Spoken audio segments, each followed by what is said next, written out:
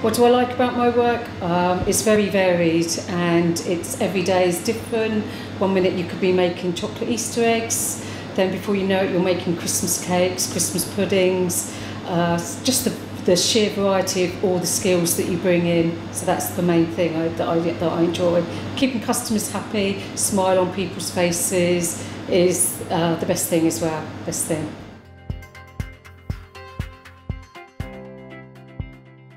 Um, many years ago, my dad, when I was about 11 years old, my dad took me to uh, a military tattoo.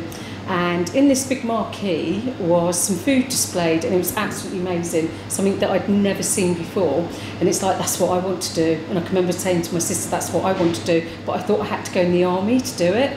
Then, I, as I got older, I realised it might sort of like checked out with careers. Um, I didn't have to go in the army to do it. But unfortunately, my school advice is where it sort of let me down a little bit because they read up what you had to do for catering and they said you had to be tall, you had to be strong, dealing with heavy equipment. And the careers advisor told me to stand up, saw my height, told me to sit down and think of another career.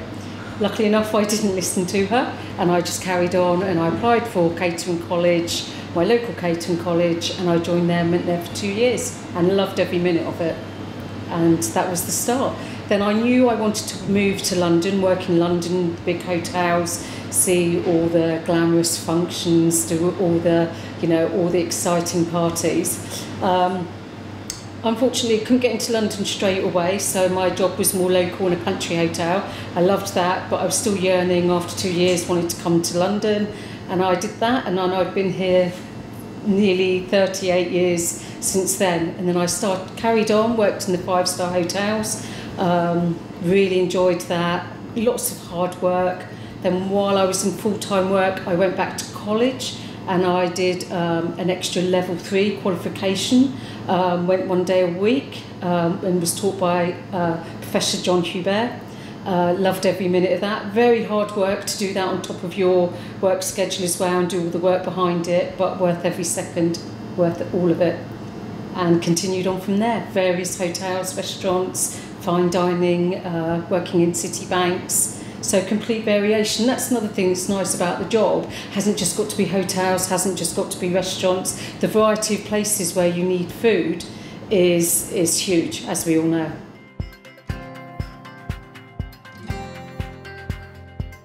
Starting out today, um, be prepared to work really hard and commit. And as the saying goes, you get out of your job what you put into it with anything.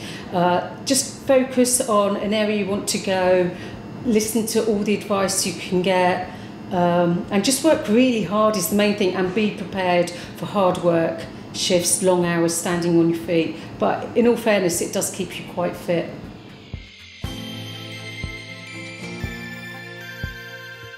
I do think we will get better after COVID. I think hospitality and kitchens will bounce back.